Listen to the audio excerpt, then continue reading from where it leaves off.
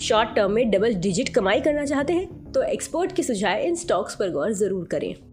Nifty ने 18,345 के स्तर पर सपोर्ट लेते हुए जोरदार वापसी की है। और एक फॉलिंग चैनल फॉर्मेशन से ब्रेकआउट देते हुए 18,514 के स्तर पर स्थित 20 डीएमए के ऊपर बंद होने में कामयाब रहा है। इसके लिए 18,625 पर स्थित 9 डीएमए पर पहला रेजिस्टेंस नज़र आ रहा है।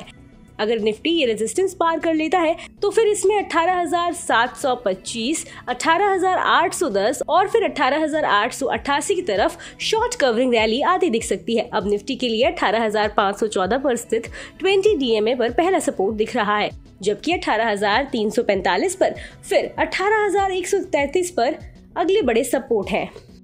डेरिवेटिव्स आंकड़ों पर नज़र डालें तो मार्केट न्यूट्रल नज़र आ रहा है। वहीं संस्थागत निवेशकों की तरफ़ से आने वाला निवेश भी सुस्त दिख रहा है। उधर बैंक निफ्टी अपनी लीडरशिप बरकरार रखे हुए है। इसके लिए चवालीस तत्काल मनोवैज्ञानिक बाधा दिख रही है।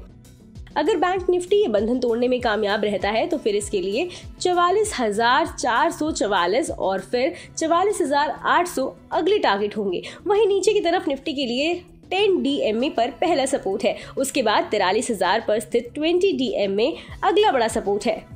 चलिए आपको बताते हैं स्वास्थ्य का इन्वेस्ट मार्ट के प्रवेश गौर की टॉप ट्रेडिंग पिक्स जिनमें दो से तीन हफ्तों में हो सकती है डबल डिजिट कमाई। रिट्स रिट्स में तीन सौ पचपन रुपए के स्टॉप लॉस के साथ चार सौ चौवालीस रुपए के लक्ष्य के लिए खरीदारी करें। दो से तीन हफ़्ते में इस स्टॉक में सोलह फ़ीसदी का रिटर्न मिल सकता है। प्रवेश गौर का कहना है कि इस स्टॉक ने डेली चार्ट पर ट्रायंगल पैटर्न फॉर्मेशन से ब्रेकआउट दिया है। इसने 355 से 360 रुपए के आसपास एक बेस बना लिया है। इस समय इस स्टॉक का स्ट्रक्चर काफ़ी अच्छा दिख रहा है और ये सभी मूविंग एवरेज के ऊपर कारोबार कर रहा है। ये स्टॉक में और तेज़ी आने के संकेत हैं। अपार इंडस्ट्रीज़। अपार इंडस्ट्रीज़ में पंद्रह सौ पचास रुपए के स्टॉप लॉस के साथ दो हज़ार चौवालीस रुपए के लक्ष्य के लिए खरीदारी करें। दो से तीन हफ़्ते में इस स्टॉक में बीस प्रतिशत रिटर्न मिल सकता है। कर्नाटका बैंक। कर्नाटका बैंक में एक सौ के स्टॉप लॉस के साथ दो सौ के लक्ष्य के लिए खरीदारी करें। दो से तीन हफ़्ते में इस स्टॉक में चौबीस फ़ीसदी रिटर्न मिल सकता है।